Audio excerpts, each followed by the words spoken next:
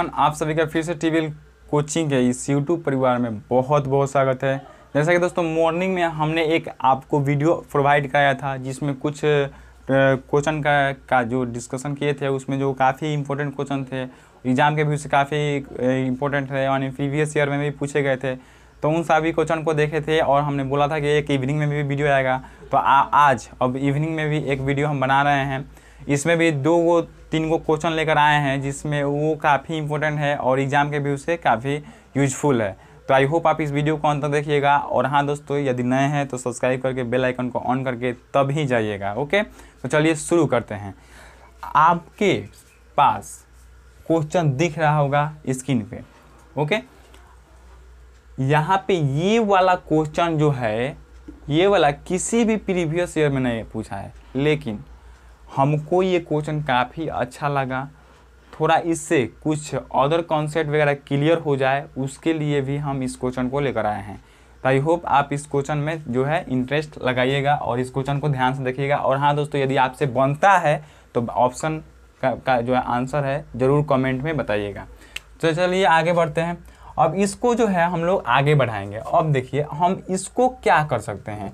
इसको तो हम कल मॉर्निंग में जो है, बताए थे कि जितना सरल हो सके क्वेश्चन को जितना सरल हो सके, उतना आप सरल कीजिए।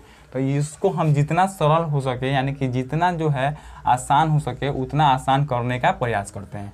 अब देखिए रूट रूट अंडर टेन है तो रूट अंडर टेन इसी तरह रहने देते हैं। रूट अंडर टेन इसी तरह रहने देते हैं, क्योंकि इसका, इसमें कोई भी वर्गमूल वगैरह जो है क्रिएट नहीं हो पाएगा और बाहर नहीं निकल पाएगा। इससे, इसके अंदर जो भी संख्या होगा, वो बाहर नहीं निकल पाएगा। क्यों? क्योंकि यदि दो कीजिएगा तो दो दूना चार, दो बाहर नहीं निकल पाएगा। अभी आपको समझ में नहीं आ रहा है, हम समझ रहे हैं। आगे देखिए, ज़रूर समझ में आएगा। प्लस रूट अंडर बीस है तो इसमें क्या कर सकते हैं? दो गुने दो, चार और गुने पाँच कर सकते हैं। प्लस और रूट अंडर चालीस है तो इसमें क्या कर सकते हैं? दो गुने दो गुने चार दो दूने चार गुना दस। इसको इस तरह कर सकते हैं। माइनस में रूट अंडर फाइव है तो माइनस में रूट अंडर फाइव। और माइनस में अस्सी है तो यहाँ पे क्या कर सकते हैं? चार चौका सोलह गुने पाँच। चार चौका सोलह गुने पाँच, सोलह पच्चीस, अस्सी। आई होप कि आपको दिख रहा होगा। जी हाँ दिख रहा है। चलिए, आगे बढ़ते हैं। यहाँ पे पंद्रह है ऊपर तो पंद्रह बट्टा में ये रूट अंडर टेन है तो रूट अंडर टेन इसी तरह रहने देते हैं। प्लस का सिंबल है प्लस का सिंबल है। दो को दो के लिए एक दो बाहर आएगा। आई होप कि आप समझ रहे होंगे कि जो है रूट के अंदर अगर दो को एक ही संख्या, दो बार एक ही संख्या रहे तो वो बाहर आ जाती है एक संख्या के रूप में।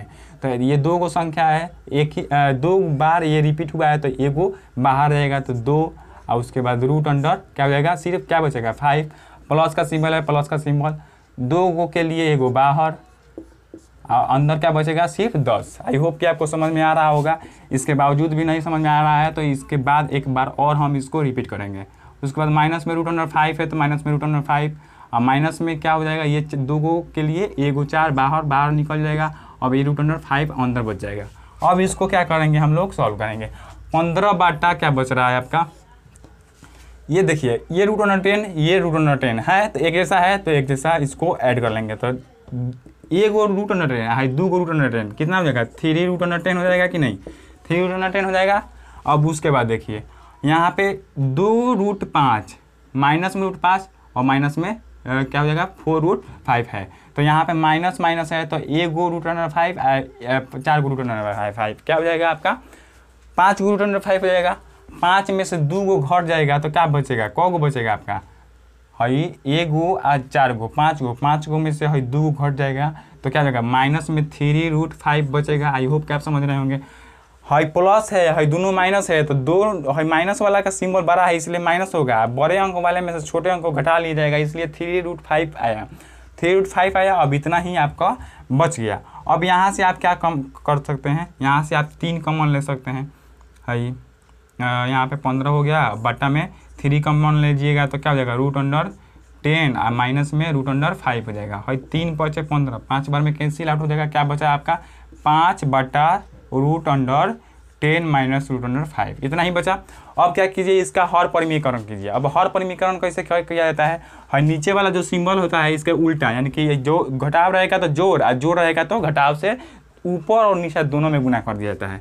तो हर परिमीकरण कर देंगे। रूट अंडर टेन माइनस है तो प्लस में रूट अंडर फाइव हो जाएगा और नीचे हूँ वो रूट अंडर टेन प्लस में root under root under five यानी क्यों क्यों दोनों ए, दोनों एक ही जैसा रहेगा? क्योंकि ऊपर में जितना से गुना करेंगे उतना ही नीचे हूँ से गुना करना पड़ेगा।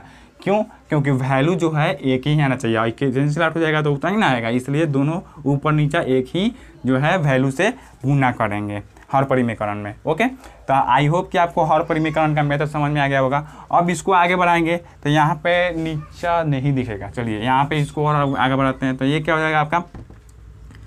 Five root under ten plus root under five हो गया? अब ये देखिए, नीचा क्या बचा आपका? हाई देखिए, एक बार एक बार ए प्लस बी एक बार जो जुट रहा है, एक बार घट रहा है। यानी कि ये किस फॉर्म में आ रहा है? ए प्लस बी इंटू में ए माइनस बी के फॉर्म में आ रहा है कि नहीं? अब जब इस फॉर्म में आता है तो क्या लिख लिखते हैं हम लोग? A square minus B square लिख सकते हैं, लिखते हैं। तो इसके लिए हम लोग क्या लिख सकते हैं? रूट अंडर दस का होल स्क्वायर और माइनस में क्या लिख सकते हैं? रूट अंडर फाइव का होल स्क्वायर लिख सकते हैं? अब देखिए, इतना लिख सकते हैं। आई होप कि आपको समझ में आ रहा होगा। अब देखिए, थोड़ा सा यहाँ पे हम लोग इसको लिख लेते हैं।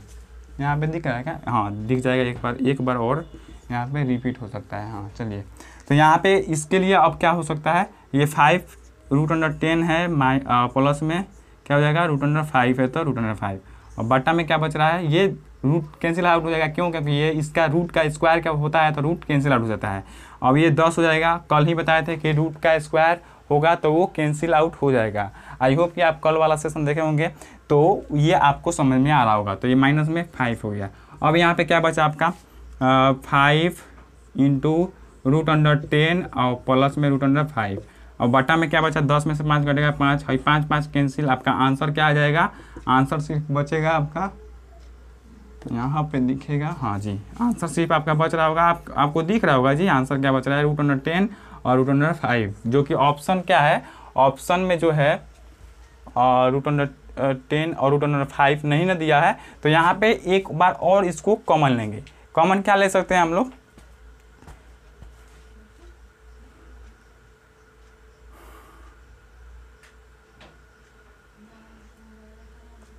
तो यहाँ पे हम लोग कॉमन क्या ले सकते हैं इस रूट अंडर टेन और रूट अंडर फाइव में रूट अंडर फाइव कॉमन ले सकते हैं कि नहीं तो जब रूट अंडर फाइव कॉमन लेंगे तो क्या होगा रूट अंडर फाइव यहाँ पे दिख रहा है ना रूट अंडर फाइव इंटू में यहाँ पे क्या हो जाएगा रूट अंडर यहाँ पे root under two I hope कि आपको समझ में आ रहा होगा रूट अंडर टू आप प्लस में क्या हो जाएगा रूट सिर्फ़ वन यानी कि root under five into root under two plus one जो कि ऑप्शन यदि देखा जाए तो root under five one plus root under two option number C is correct answer for this question हो जाएगा। तो ये थोड़ा सा लॉन्ग था, लेकिन इसमें काफ़ी ज़्यादा मेथड वगैरह था, इसलिए हमको इसको बताने का जो है प्रयास था कि आप इससे भी कुछ कॉन्सेप्ट वगैरह क्लियर कर सके।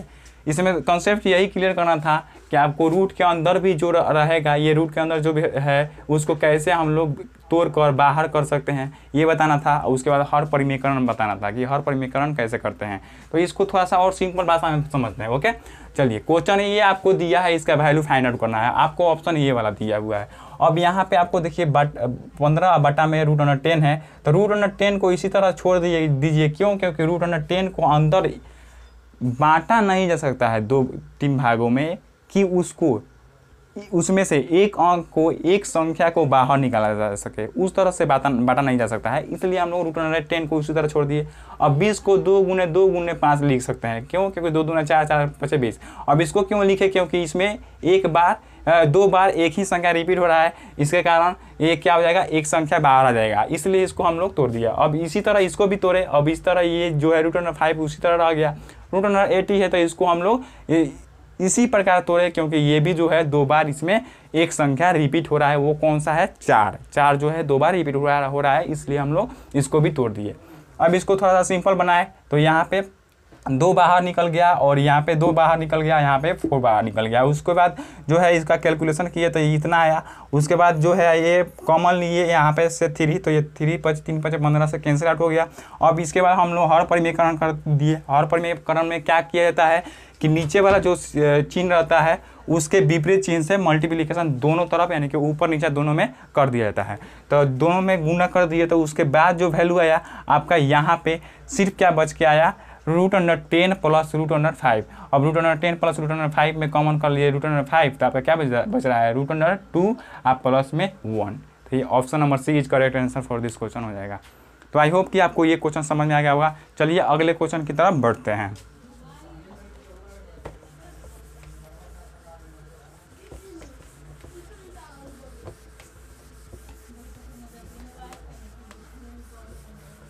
कहे के तो सब के हुआ अपन।